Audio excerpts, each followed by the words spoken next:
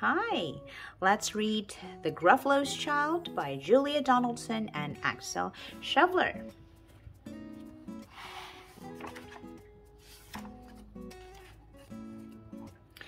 The Gruffalo said that no Gruffalo should ever set foot in the deep dark wood.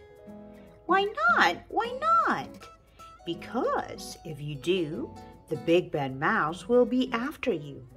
I met him once said the Gruffalo. I met him a long, long time ago. What does he look like? Tell us, Dad. Is he terribly big and terribly bad? I can't quite remember, the Gruffalo said. Then he thought for a minute and scratched his head. The big bad mouse is terribly strong, and his scally tail is terribly long. His eyes are like pools of terrible fire, and his terrible whiskers are tougher than wire. One snowy night, when the Gruffalo snored, the Gruffalo's child was feeling bored.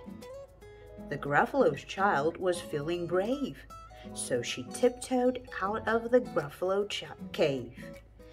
The snow fell fast, and the wind blew wild, into the wood went the Gruffalo's child. Aha! Uh-huh! A trail in the snow! Whose is this trail and where does it go? A tail poked out of a log pile house. Could this be the tail of the big bad mouse? Out slid the creature. His eyes were small and he didn't have whiskers. No, not at all. You're not the mouse. Not I, said the snake.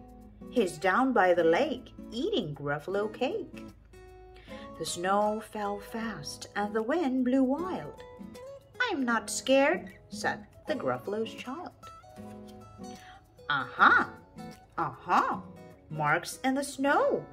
Whose are these claw marks? Where do they go? Two eyes gleamed out of a treetop house. Could these be the eyes of the big bad mouse? Down flew the creature. His tail was short, and he didn't have whiskers of any sort. You're not the mouse. Not I, but he's somewhere nearby, eating Gruffalo pie. The snow fell fast, and the wind blew wild. I'm not scared, said the Gruffalo's child. Aha! Uh-huh! A track in the snow. Whose is this track, and where does it go?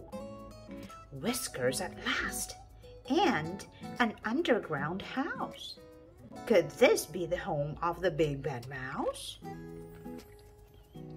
Out slunk the creature. His eyes weren't fiery, his tail wasn't scally, his whiskers weren't wiry. You're not the mouse? Oh no, not me. He's under a tree, drinking Gruffalo tea. It's all a trick, said the Gruffalo's child, as she sat on a stump where the snow lay piled. I don't believe in the big bad mouse. But here comes a little one out of his house. Not big, not bad, but a mouse at least. You'll taste good as a midnight feast. Wait, said the mouse. Before you eat, there's a friend of mine that you ought to meet. If you'll let me hop onto a hazel twig, I'll beckon my friend so bad and big. The Gruffalo's child unclenched her fist. The big bad mouse, so he does exist. The mouse hopped into the hazel tree. He beckoned, then said, Just wait and see.